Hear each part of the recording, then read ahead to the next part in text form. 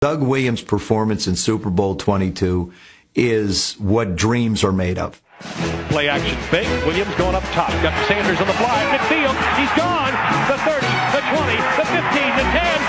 Touchdown. Washington Redskins. It was a performance that you could make a movie about. Nobody believe it. Williams, the pass, lobs it up. He's got Clark at the goal line. He's got it. This was a, just a backup guy. And then he comes in and he does that? That was remarkable. Even more remarkable is how much our number one Super Bowl performer had to overcome to put the Redskins in position to win.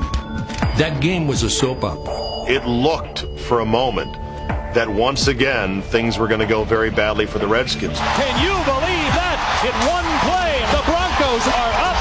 Well, the Redskins are stunned. Trailing 10-0, Washington got its biggest scare from its own quarterback. Did you see him twist his leg when he went down? Doug Williams has got to have a sore leg.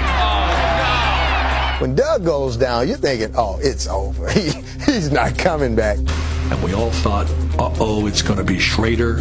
So here comes Schroeder. There was no way that day that Jay Schroeder was going to play. Washington's offense is back on the football field, and so is number 17, Doug Williams.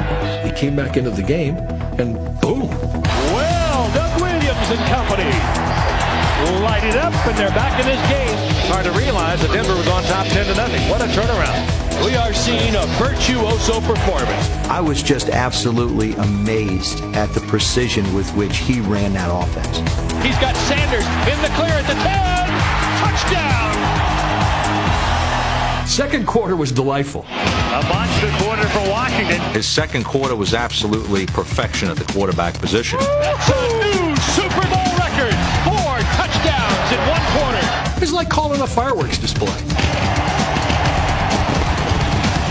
You know, they just kept scoring and scoring and scoring. I'm flabbergasted at what Washington's doing to Denver this quarter. It became a slaughter. 322 yards in a quarter. That's one of those no moss games. This is a fight. They might stop it. Second half was like covering a funeral. If you're a Denver fan, that ain't a pretty sight. Our number one performer finished with 340 yards passing to go along with his Super Bowl record four touchdown passes in one quarter. One of the greatest feats, not only in history of Super Bowls, but in the history of sports. Doug Williams, he is having a dream day for a quarterback.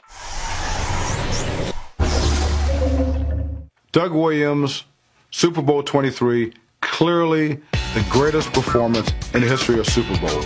Not even close. He was a black quarterback breaking down the racial barrier and winning the Super Bowl. The first black quarterback to start a Super Bowl, the first black quarterback to win a Super Bowl. Playing for all the people that have gone before him. The Marlon Briscoe, the James Harris, the Joe Gilliams.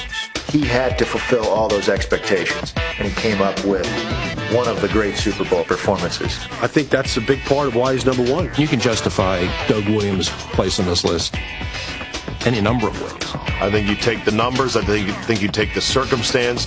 You take the fact the team was down at the time. I think it has no peer. And the statement he made by the way he played, I think is it's one that's unique and it's one that I think should be cherished. His warm smile and soft eyes hid the fact that nothing ever came easy for Williams, dating back to his days in Tampa, when he yearned for acceptance as a black quarterback. A lot of people just not ready to accept the fact that a black quarterback is, is playing in the National Football League. And, you know, it's nothing that you could do anything about, I could do anything about. It's just that a lot of people just not ready to accept it. Williams led the Buccaneers to the playoffs in three of his five seasons, but never got the respect he deserved. Those kind of guys have seen a lot of things and been through some rough things and can lead you through other things.